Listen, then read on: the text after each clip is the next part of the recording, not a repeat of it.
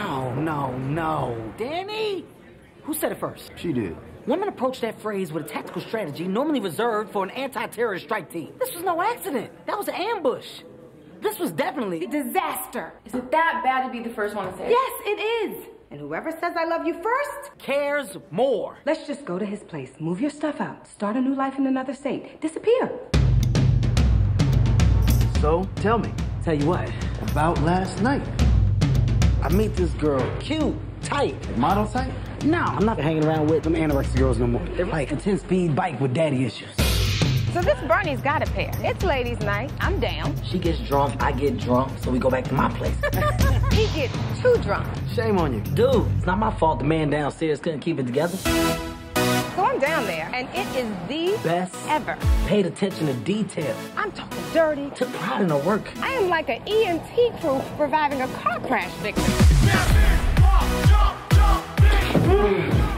Sit down. No, no, it's dirty on there. I'm a Okay, you my flower. Where's Joan? She says she's gonna meet us here. Where's Bernie? He said he's gonna meet us here. Right. I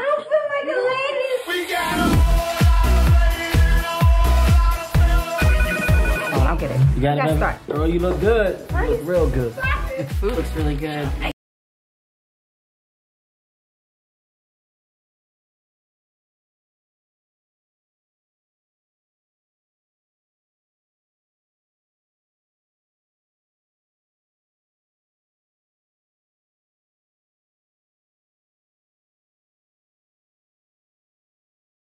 We mean something to each other, right?